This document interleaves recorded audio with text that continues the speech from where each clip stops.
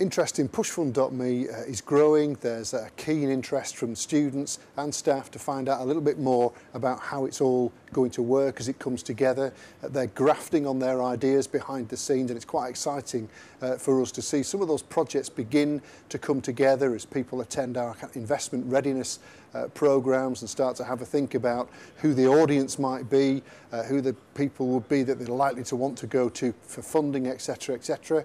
Um, so that's all com coming together quite nicely. Um, we're also on uh, Facebook uh, and Twitter. Those accounts are fairly kind of active, people exchanging uh, information and ideas on there. So please have a look at Facebook and Twitter, pushfund.me, uh, if you want more information about that. Um, yeah, there's been lots of interest in the uh, Push Fund Me site, which is great. It really shows um, how important crowdfunding can be. Um, it's a real melting pot of ideas, a whole range of um, people with projects to launch on the site. Um, these have ranged from people wanting to launch fashion magazines. Um, we've got ideas within the legal team um, that have devised a concept around mediation services, which could work really well with crowdfunding. Um, and then there's artistic installations, um, there's a sunscape project, um, there's other people who might perhaps want to launch uh, albums or really promote themselves as musicians. The really great thing about crowdfunding is it's a fantastic way to get started uh, as an alternative to venture capitalist funding. It really proves the concept um, of your idea through a market, which is why it works so well.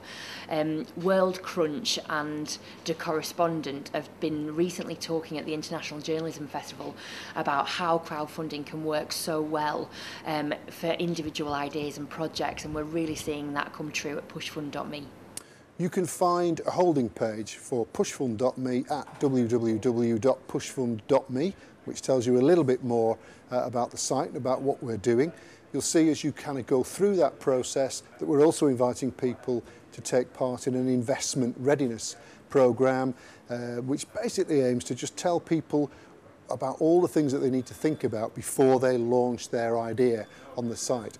We kind of think that's one of the things that makes pushfund.me uh, unique and important and we're committed to making sure that people develop their the businesses that underpin their ideas as much as they develop their ideas. So our investment readiness programs have just started. Uh, we're running them regularly. Uh, they're pretty bespoke. So as people come forward with ideas, uh, we can kind of fine tune them to match the ideas that people bring forward the, th the thing to really understand about crowdfunding is it's much more than just money.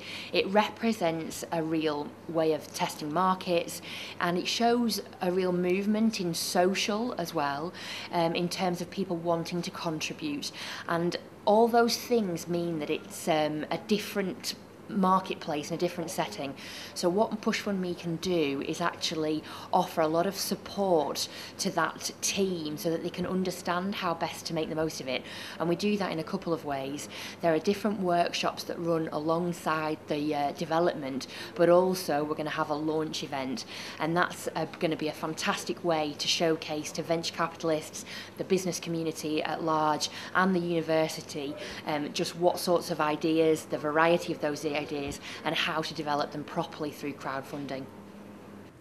Okay, the next thing that's likely to happen for us in-house is that we'll launch the site. Okay, we haven't done that yet. Uh, we've got a cracking company called um, Three Man Factory uh, redesigning and reskinning our website for us. There are a few little sort of tweaks happening to the, some of the kind of uh, interactions and interactivity uh, levels and of course uh, we're shooting a video and collecting the content that will promote a lot of the ideas that end up on the site. That's going to happen fairly shortly. I'm not going to say when yet because we're going to announce that a little bit later.